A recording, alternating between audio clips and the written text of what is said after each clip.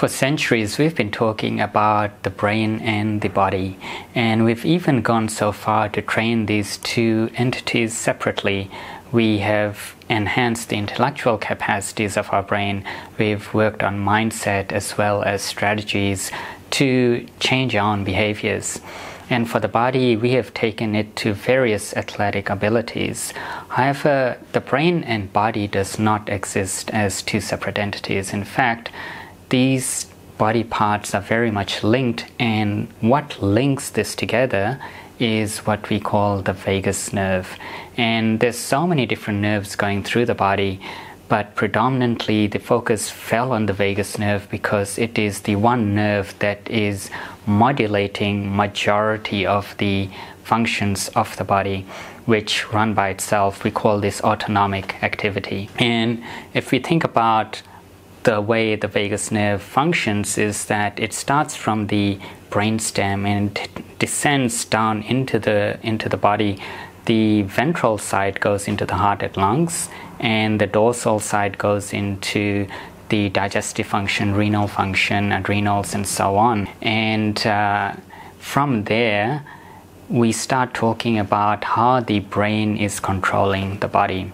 And for example, if we are uh, low in blood sugar, it will tell the brain that uh, we actually need food, so it changes our behavior. So we start looking for food. And if we feel threatened, um, our adrenals fire up and it goes into a state of fight or flight. And all these functions, we see that the brain is giving information to the body on what action to take. However, what is being more and more understood recently is that majority of the information traveling in the vagus nerve in fact 80 to 90% of the information traveling in the vagus nerve is going up into the brain. In fact the body is what is controlling the brain. And once we start understanding that the brain and body is very much connected, it does not really make sense to train these two components separately. When we just talk about strategies of the mind, when you talk about mindset, we find that we have a very strong focus, a very strong belief, or a very strong structure that is developed by the mind, but it might not be congruent with the body. And so when we start forcefully doing things, or when we start pushing ourselves further than the capacity of the body, we find that there is resistance that develops in the body. And over time, this resistance can become uh, abnormal and can become into a disease. And we find that this separation between brain and body, the further this separation becomes, the more disease there is, both mental, physical, and physiological. When we start to connect the brain and body, and we do this through heightening what we call is the vagal tone. Uh, the vagal tone basically is the strength of communication between brain and body. The more we heighten the vagal tone, the better the connection there is. And so we find that our brain, body, and behavior are becoming more and more congruent. And over time, what we find is that action and awareness suddenly merge, and there is no distinction between what happens through our instincts and what happens in our behavior and what we desire. So ultimately, this is what leads to what we call the flow states and heightened awareness and um, greater productivity and creativity. So, what we've also found is that heightening the vagal tone can actually boost your immune system and boost um, the ability to recover from various illnesses. So, uh, there's been studies on using vagal tone as a treatment for depression and chronic fatigue syndrome, and it's also been used for rheumatoid arthritis.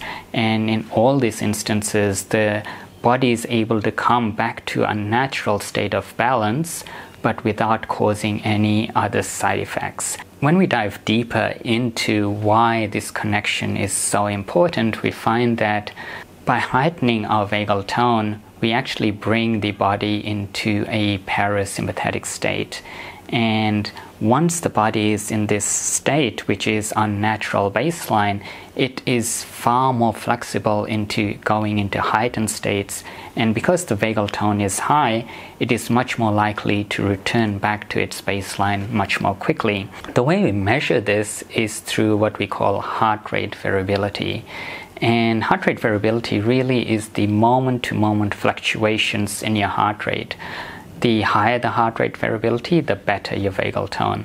And basically, what this means is that if, for example, you feel threatened or you go into a state of anger or any of the other emotions that you might not feel comfortable with, you can fully feel that emotion, but then de- decelerate back to your normal state uh, very, very quickly as well. This ability to switch between state is the response of the heart. So when the heart rate rises, you can very quickly go into fight or flight and decelerate back into the parasympathetic once the danger is over. Today, what we face is a lot of threats which live inside our own heads, and they're not actual threats that we need to be responding through the fight or flight response.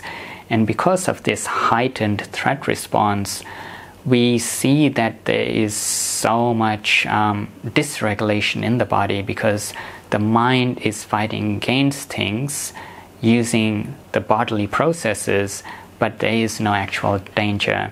The threat is created in our own minds. This is so apparent in society that the fight or flight response is actually becoming the baseline of our society, so much so that if we are not busy, if we're not creating drama, we find that these this becomes uncomfortable. So when someone says I'm busy, we think that's productive, that is good. When someone is um, expressing uh, various different emotions but without a, a filter on it, we find that that can be quite threatening on other people. But if you are able to express your emotion as is, as raw and as comfortable as it can be, but then return back to baseline, then it is a very powerful emotional feedback loop that uh, we are quite losing in society. This emotional feedback loop is required so that um, it causes a learning behavior in the other person. Without that feedback, often a lot of things go unspoken and unsaid, and resentment and other forms of um, maladaptive thought processes start to occur. So, there are so many benefits to heightening your own vagal tone, but then how do you do it? So, this is what I'd like to get into now. The first way you can heighten the vagal tone is through your breathing. And you might wonder, well, if breathing is such a natural process, why do I need to train it? Why do I need to train something that happens by itself? And this is where I will bring your attention to the fact that when we are frightened, when we are threatened, when we feel uneasy, we tend to hold our breath. And the moment we do that, the heart starts to accelerate because there is less oxygen reaching the rest of the organs, so the heart is accelerating to provide both oxygen and nourishment to the body. The longer we hold our breath, the more agitated our system becomes. And so, in order to bring the system back into harmony, we use something called vagal breathing, which is simply exhaling twice as long as the inhale. And this works so simply because it's hardwired into our biology. Every time we inhale, the heart rate rises, and every time we exhale, the heart rate slows down. And by prolonging the exhale, we are giving the body uh, an idea of feeling safe. This happens quite instinctually when, um, for example, we evade a threat that was actually not there and we do a sigh, we go, ah, and that naturally relaxes the body. So it's inbuilt into our own biology, but we can also train it and train it to the point where we actually don't need to be aware of it. So, as a practice, it's great in that it is auto responsive, but over time, you will not need to practice breathing, it will be uh, autonomous. The second way you can train your vagal tone is through cold water therapy, and cold water is actually extremely beneficial for the nervous system. And this is because it activates what we call the mammalian dive reflex, which is basically an instinct every time you go underwater. And this instinct is there to slow down your heart rate to conserve oxygen while you're underwater. So, for example, if you're on land, you can hold your breath for say a minute, but underwater, because of the mammalian dive reflex, you will be able to hold your breath for at least twice as long. And what this also does is that even under pressure, your heart rate will still slow down. So, for example, if you are doing push ups on land, if you do 10 push ups, there's a high chance that your heart rate would rise. But underwater, if you start doing 10 push ups, your heart rate will actually slow down to conserve more oxygen. So, by activating the mammalian dive reflex by putting cold water on your face or doing cold water dousing is a very quick and easy way to get out of the fight or flight and stress responses. So, because it's an instinct, it will happen by itself, it is automatic. The third way you can heighten your vagal tone is through your own skin. You might not realize this, but the skin is in fact the largest organ of the body and it communicates so much of our own intentions. For example, if we are feeling nervous but we are putting a smile on, on our face, this is actually creating a dissonance between what you're communicating through your body and what you are communicating verbally. And um, often this disconnect can lead to uh, misinterpretations in people because their own body is actually saying something else, but they're hearing something different, and this can lead to mistrust. And so much so that you might even find it threatening to live in your own skin. You might start fighting against your own body, and this can lead to anorexia or bulimia. And one of the biggest components of returning the nervous system back into a parasympathetic state is by allowing the body, the skin, to find relaxation. And you can do this through therapeutic touch, but um, simply touch alone isn't enough. If you are feeling threatened, you might find that uh, simply giving a hug might not uh, actually feel that good because you can hug someone and still feel tense. So, a lot of the work of rehabbing the tactile sense is through rehabbing touch. And one of the most easiest ways you can do this is by walking barefoot. And uh, the foot itself is your way of grounding to the earth.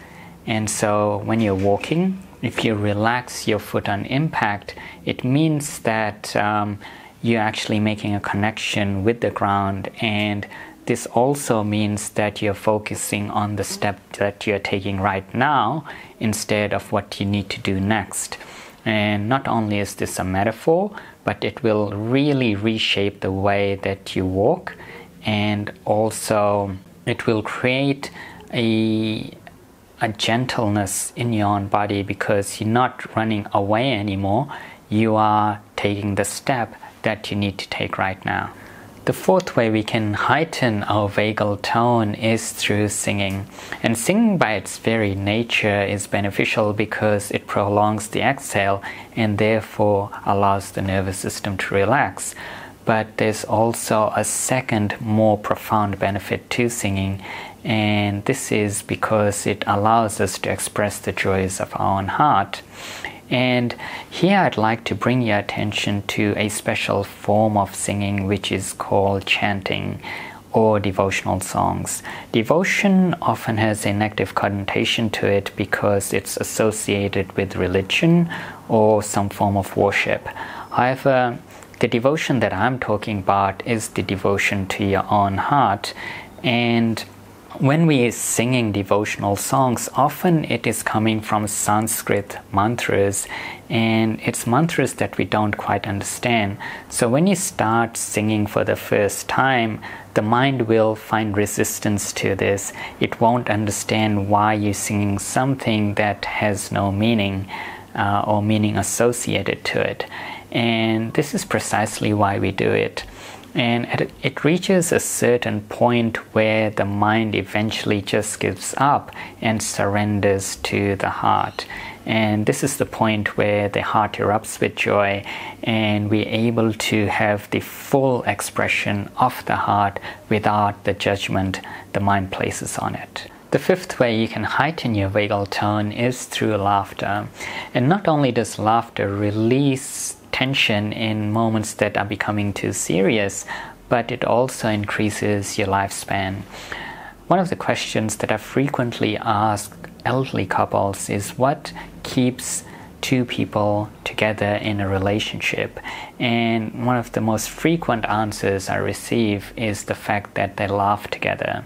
And not only does laughter allow people to be silly and make jokes and have fun, but it then allows people to also create long lasting bonds. So, highly recommend being joyous and fun and silly together to increase not only the friendship that you have, but also your longevity. The sixth way that you can heighten your vagal tone is through movement. And not any movement will suffice. In fact, movement can be corrosive if it's driven simply through the mind. The best movements are those where both the mind and body are connected. Practices that actually connect the breath takes movement even further, and this is one way of evoking instinct in your movements. So, Movement is probably reaching the height of its potential when action and awareness suddenly merge and you're able to reach a state of flow. This is the height of your own ability, and this is where instinct is operating at its fullest capacity. So, not only does movement allow you to find a gap between your own thoughts and simply be absorbed by this moment, it also brings tremendous joy when you enter flow. The seventh way we can heighten our vagal tone is by experiencing nature. And when we return to nature, we find that it has an aliveness that our own bodies respond to. Our bodies actually crave nature because it, it is when our senses are heightened and we truly get to experience this moment. When we're in nature, our thoughts and feelings start to subside and our minds start to experience an emptiness. But amongst all of this, we feel more connected and we find our place amongst it all. In this video, you have learned seven different ways to heighten your vagal tone. And you don't have to practice all of this even if you practice just one of these techniques, you'll find profound benefit in your own well being and in your own life. So, I highly recommend practicing one of these techniques at least once a day and seeing the benefits for your own self. And if you have enjoyed this video, please like and subscribe for more interesting videos on the brain, body, and behavior topic.